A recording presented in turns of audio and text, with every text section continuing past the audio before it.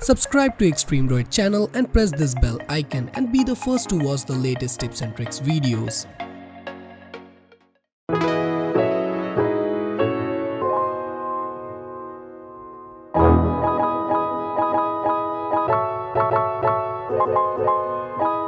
The Resurrection Remix is one of the most popular aftermarket ROMs available for dozens of Android devices. The ROM is quite popular among the users due to its stability, performance, excellent battery backup and most importantly its customization capabilities through which you can customize almost every aspect of your device, more on that in the later part of the video. Now, recently I installed this ROM on my Redmi Note 4X and I was testing it since about a week and I found that the ROM was very stable, everything is working just fine and the battery backup is just insane. So this is a video of me of sharing my experience with the Resurrection Remix ROM and is it the best custom ROM available for Redmi Note 4 or 4X? Let's find out.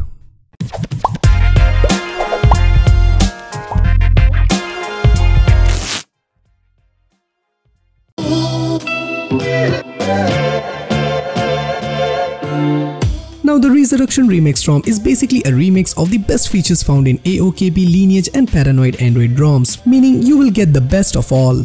So now let's start with the UI. On the first boot, you will get the option to choose between two different launchers. The first one is the old school Trebuchet launcher and the other one is, as you might have already guessed, the Pixel launcher, which is nowadays a default launcher in most of the custom ROMs and this one is directly ported from the upcoming Android O.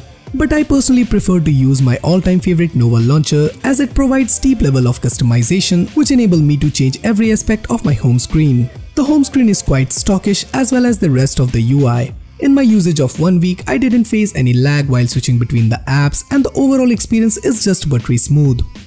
Overall in terms of UI, there is nothing really eye-catching or unique about Resurrection Remix until you entered the configuration menu in settings. If you know your way around, I can be sure you would have no trouble changing the UI to look the way you want. There are numerous settings here for you to tinker with and if this is your first time using a feature pack custom ROM like Resurrection Remix, you might be overwhelmed at just how much you can change. If you love customization, this configuration menu is what heaven would be like. From what happened when you double tap your home button to letting any text be displayed in your Android status bar, there is next to nothing you cannot change. Even the little things you never thought you would want to play around with like the animation when you toggle a quick setting can be changed and you will love it. So in short, you can customize the status bar, notification panel, recent menu, quick setting, lock screen, gestures, navigation key, animations, interface and some miscellaneous ones. Whoa, that's not short man, not at all. I can make a whole 10 minute video in explaining just the features and customization that this ROM has to offer. Moving forward to its performance and battery life, the performance of Resurrection Remix is actually far better than the stock MIUI ROM and that's why now I am using this ROM as my daily driver due to its stability. The quicker animations of this ROM make things look better as compared to a stock MIUI ROM and personally I don't like these highly skinned Android version like MIUI as they consume much more RAM than the stock one and that's the reason why Resurrection Remix ROM feel very light and snappy. Everything on this ROM is working like a charm, like the fingerprint scanner, camera and for those who are wondering that VoLTE is working or not, then yes, it's working just fine. Talking about its battery life, which I think is insane, as before installing this ROM, I was using the stock MIUI 8.2 ROM, which has a very good battery life.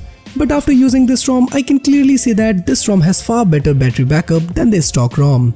In my day-to-day -day usage which include couple hours of gaming, zipping between different social media apps and normally taking some calls, I was easily getting more than 7 hours of screen on time which is quite enough to get me running throughout a day and still about 30% of juice is left. So all in all, the ROM is pretty stable to use this as your daily driver and I didn't encounter any bug or random reboots in my testing period. There is no doubt that the Resurrection Remix is one of the best custom ROM available and the best thing that I liked about this ROM is the large community and the updates are very constant. So if you are looking for a ROM that offers tons of customization options and still gives you a stock experience then I will highly suggest you to install this ROM and you won't regret. So guys that's it for this video. If you wanna see more custom ROM videos on Redmi Note 4 or 4X then do let me know that in the comment section. And if you like this video then do subscribe to my channel and press the bell icon to get notified every time I release a new video. So this is Samir signing off and I'll see you guys in my next one.